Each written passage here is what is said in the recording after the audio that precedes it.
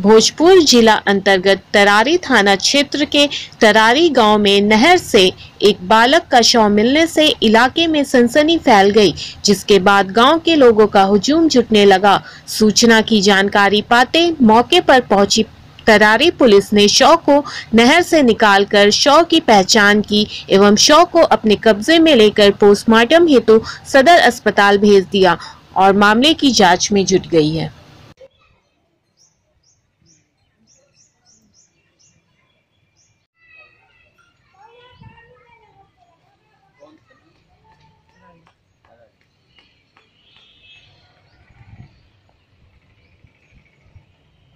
हुआ ये घटना ये बताया थोड़ा।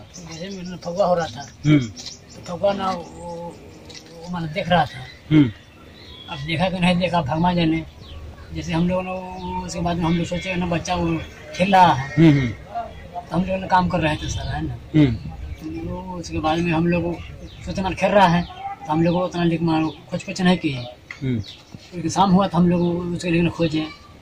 नहीं पता चला उसके बाद में कितने तारीख से लापता थे ये? उन्नीस तारीख से। उन्नीस तारीख से? हाँ। तो आप लोग कैसे पता चला कि ये पानी में डूबे हुए हैं? तो मान कॉल में हम लोग ने दिखाई दिया एक आदमी गया ना लिफ्टिंग करने। हम्म। तो पानी छूता है ना सर? हम्म हम्म, पानी में छू रहा था वो देखा कि एक बच्चा बोलो उधर से मैंने पुला का। धला तो मैंने आ रहा है। बच्चा है ये? हाँ बच्चा है। कितने साल का ये? चार साल का है। चार साल का है। आठ साल का। आठ साल का। हाँ। कहाँ पर डूबा था ये? तरारी में। क्या नाम आपका?